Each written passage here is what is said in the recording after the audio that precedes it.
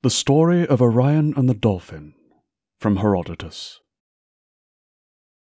Periander, the son of Cypselus, was king of Corinth.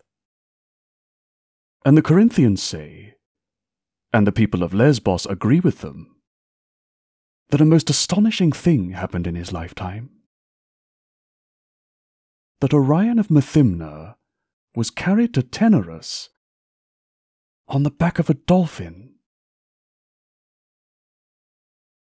Arion was a lyre player, and second to no one else of his time.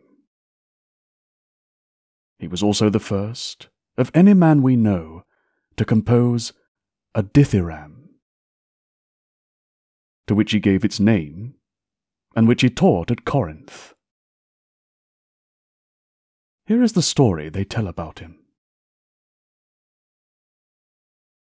Arion, who spent most of his time with Periander, set his heart on sailing to Italy and Sicily. Then, after earning a great deal of money there, he decided to sail back to Corinth. He started from Tarentum. Though trusting no one more than he did Corinthians, he hired a ship from some Corinthian sailors.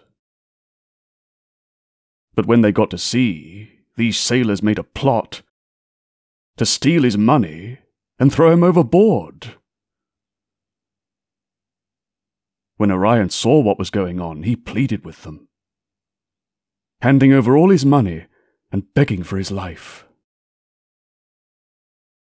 He could not persuade them. They ordered him either to kill himself, to receive a burial on land, or leap immediately into the sea.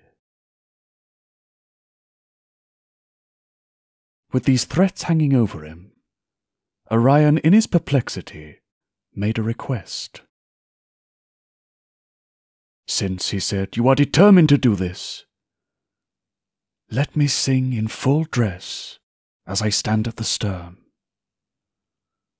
I promise to end my life when I am done. It was a pleasing idea to think of hearing the best singer in the world. So the sailors moved from the stern to the middle of the ship. After putting on his full dress and getting his lyre, Arion sang at the stern an Orthian song and once he was finished, he threw himself into the sea in all his dress, just as he was. The crew sailed away to Corinth. But a dolphin, they say, taking Arion on his back, carried him away to Taenarus.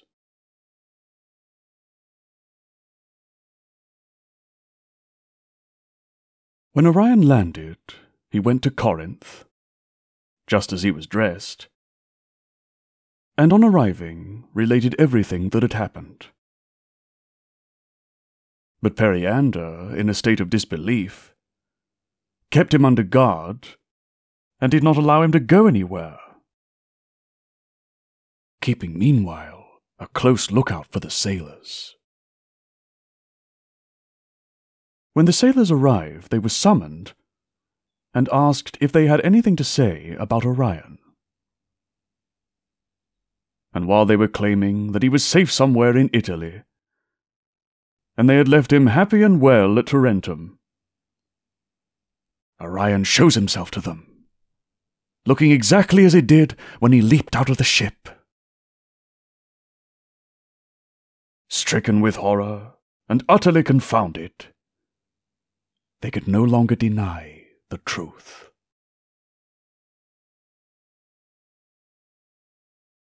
To this day, this is the story that both the Corinthians and Lesbians tell.